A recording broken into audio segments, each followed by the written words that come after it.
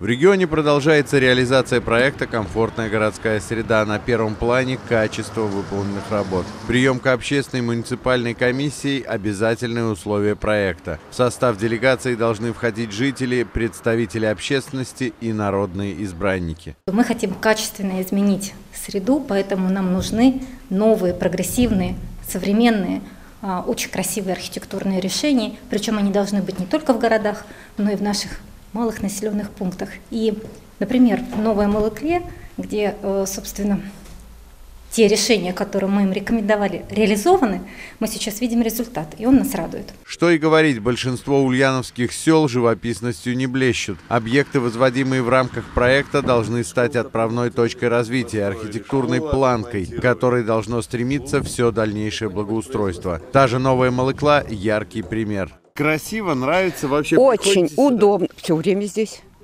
Это, во-первых, и две калитки удобные, и проходишь и магазины туда, и красиво, очень красиво. Всем даже нравится, кто по интернету Мылкло интересуется. Мнение жителей – основа для успешной работы программы. Народную любовь доказывает и такой сугубо научный факт. У места есть народное прозвище – Малыкла-Сити. Любой антрополог подтвердит, только чему-то поразившему воображение народ присваивает топоним. Впервые в 2018 году в Новомалклинском районе реализуется программа «Комфортная городская среда». И на народных обсуждениях было принято, что будет благоустраивать центральную площадь села. Также, кроме центральной площади, были отремонтированы тротуары, заменено уличное, уличное освещение, установлены детские игровые площадки. Село благодаря этой программе получило вторую жизнь. Кто-то говорит Малыкла-Сити, кто-то филиал Москвы. Ни жители, ни местная власть останавливаться на достигнутом не собираются. Современная, благоустроенная площадь ну, многие жители говорят, что даже кусочек Москвы к нам переехал на время.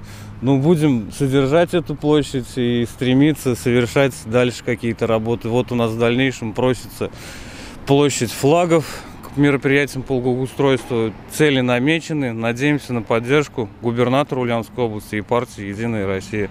Комфортная городская среда поддерживается депутатами законодательного собрания. На прошлой неделе парламентарии поддержали очередной транш на благоустройство муниципальных образований более 5 миллионов рублей. На сегодня завершены работы на общественных пространствах в 9 районах Ульяновской области. Благоустройство дворовых территорий в полном объеме выполнено в Барыше и Инзе. В остальных муниципалитетах работы находятся в финальной стадии. В основном ожидается поставка малых архитектурных форм, скамей, скамеек, фонарей, урн, детских игровых комплексов и спортивного оборудования. Многие муниципалитеты нуждаются не столько в создании нового, сколько в придании современного облика уже существующему. В Старой Майне, например, отремонтировали площадь, но этим дело не ограничилось. Был разработан проект, дизайн-проект утвержден, и на реализацию этого проекта по благоустройству площади Ленина и прилегающей скверы было заложено 4 миллиона рублей.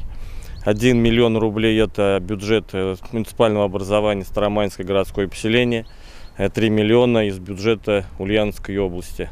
Площадь заасфальтировали, причем качественно. На асфальте во время дождя не образуются лужи. Зато установлено оборудование для катания на скейте, новые лавочки, галерея почета. Обновлен памятник земляку Владимиру Ульянову. В прилегающем сквере новые подиум, арки, урны, лавочки. Цель программы «Комфортная среда» не собственно благоустройство, а перестройка сознания граждан России, воспитание гражданской ответственности. Эта цель, по мнению руководителей проекта, достигается. Поэтому в в 2019 году работы будут продолжены. Зимой появятся новые дизайн-проекты, доработаются старые, а весной Ульяновскую область ждут новые стройки. Павел Половов, Руслан Баталов. Новости Ульяновской правды.